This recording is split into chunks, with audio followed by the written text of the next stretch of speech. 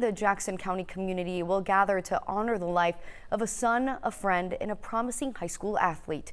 There's a visitation tonight for 18-year-old Elijah DeWitt. Police say he was gunned down last week in the parking lot of the Sugarloaf Mills Mall in Lawrenceville. His visitation is tonight from 6 to 10 at the Jefferson Church. Then his funeral is tomorrow at 6 p.m. at the Jefferson High School Auditorium. Right now, the two teens are behind bars charged with DeWitt's murder.